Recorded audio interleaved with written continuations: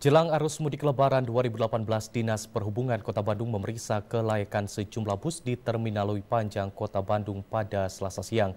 Beberapa bus tak layak jalan dikandangkan untuk diperbaiki hingga kondisinya siap jalan melayani penumpang.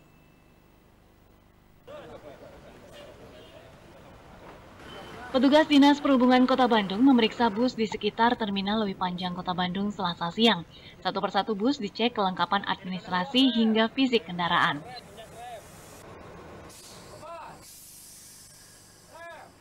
Petugas mendapati sejumlah bus yang tidak layak jalan, salah satunya pengguna klakson yang tidak sesuai aturan, kelengkapan kursi penumpang yang tak layak digunakan, serta tidak adanya alat-alat keselamatan penumpang. Bus yang tidak layak jalan tersebut dipindahkan serta dilarang beroperasi. Kepala Bidang Pengendalian dan Ketertiban Transportasi di Sub Kota Bandung, Asep Kuswara mengatakan, pemeriksaan dilakukan untuk memberikan rasa aman kepada penumpang saat mudik. Isu pun akan memeriksa di setiap pool bus.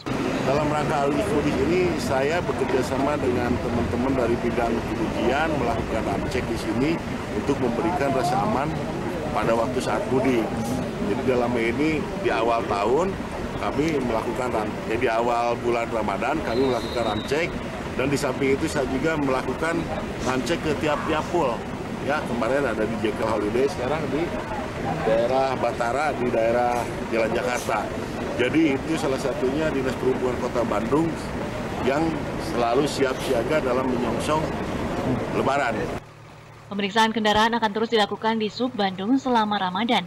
Bahkan tim di Sub siap memeriksa angkutan umum pada H-7 dan H plus 7 Lebaran. Yuwana Kurniawan, Bandung TV.